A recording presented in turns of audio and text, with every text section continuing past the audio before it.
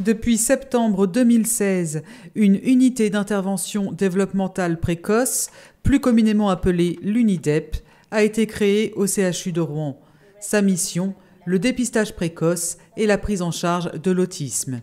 L'objectif de l'UNIDEP, c'est de pouvoir prendre en charge rapidement ces enfants repérés par les pédiatres et les pédopsychiatres comme étant des enfants à risque de développer des troubles du spectre autistique.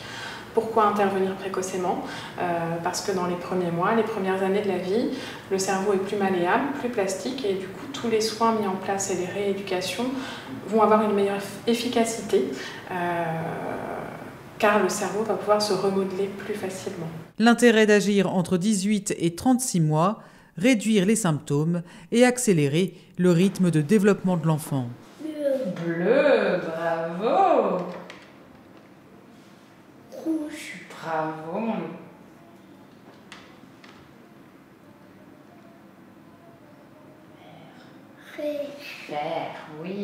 Les équipes rouennaises s'appuient sur un modèle d'intervention innovant, la méthode dite de Denver. C'est une méthode euh, qui a été développée depuis plusieurs années sur les États-Unis.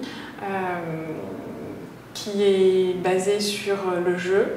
Euh, on part des intérêts de l'enfant pour développer les capacités qui interviennent dans la communication, dans les relations sociales.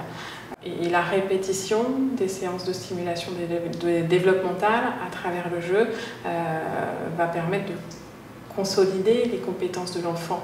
Et donc c'est vraiment l'intensité et le partenariat des parents aussi qui assistent à toutes les séances et qui du coup vont pouvoir euh, nous apporter leur connaissance de leur enfant et puis se nourrir également du savoir-faire des professionnels pour euh, généraliser ce qui est appris pendant les séances par les enfants et donc euh, rendre l'intervention encore plus efficace. L'interaction et les relations avec l'enfant sont au cœur de la prise en charge un procédé dans lequel les parents jouent un rôle crucial. La prise en charge en fait consiste à y stimuler mon enfant euh, quatre fois par semaine. Donc euh, ils interviennent sur le lieu de vie de l'enfant. Donc euh, moi en l'occurrence il est gardé dans une MAM, maison d'assistante maternelle, donc où mon enfant peut, bénéficier de la collectivité. Donc ce qui est bon aussi pour bah, le milieu ordinaire, pour l'imitation, etc. Et moi j'emmène mon enfant deux fois par semaine au CHU. Euh, où il est stimulé par une psychomotricienne dans le modèle de Denver.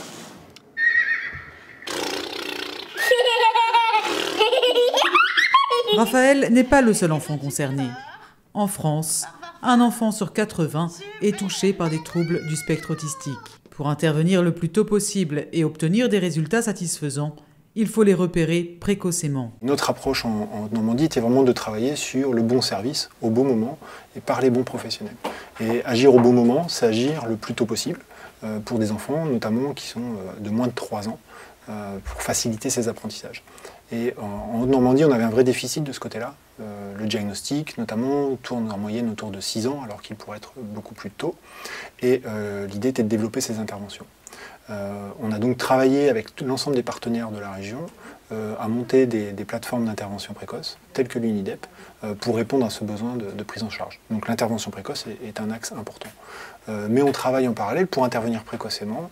Il faut aussi repérer précocement. Donc c'est-à-dire qu'on travaille aujourd'hui, le CRA, avec les médecins de ville, avec les acteurs de la PMI, avec les acteurs de l'enfance, sur le repérage aussi des enfants qui présenteraient un retard de développement euh, pour aussi leur permettre d'intégrer euh, ces services. Donc ça, c'est un deuxième axe.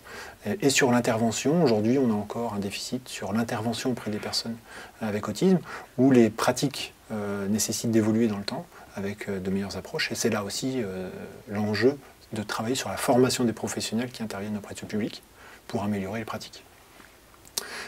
et c'est aussi en ça d'ailleurs que l'UNIDEP euh, un volet très novateur sur l'intervention parce qu'effectivement, euh, par l'approche Denver, euh, qui, fait partie des méthodes recommandées par, par la HAS et la NESM, est une méthode qui vraiment permet d'intervenir dans le milieu de vie de la personne et de travailler aussi sur la collaboration avec les parents et de faire des parents des véritables co-thérapeutes de la prise en charge de leur enfant. Et en ça, c'est une vraie évolution dans l'accompagnement des, personnes avec TSA. La création de l'UNIDEP a été financée par l'ARS Normandie. Ce dispositif permettra d'accompagner une douzaine d'enfants par an.